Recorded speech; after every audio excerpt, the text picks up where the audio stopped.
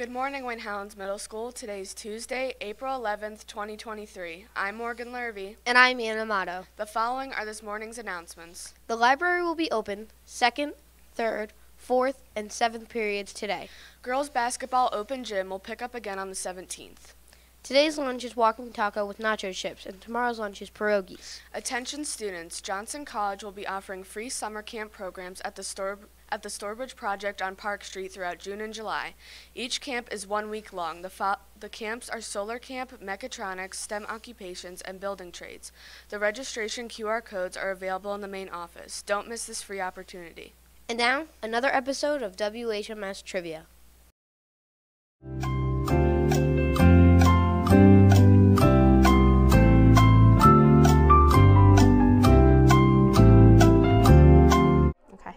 First Street. Main Street. Pennsylvania Avenue. I think Washington. Okay, I think the most common street name in the U.S.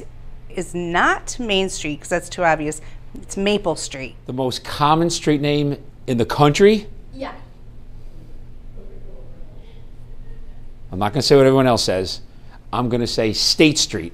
I think the most popular street name is Main Street.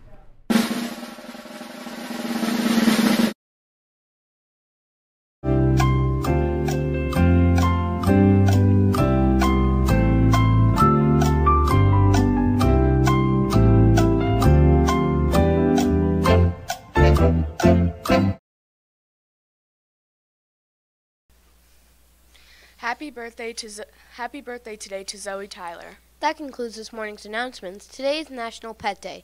If you have a pet, make sure to give he or she some love today. Have a great day, WHMS.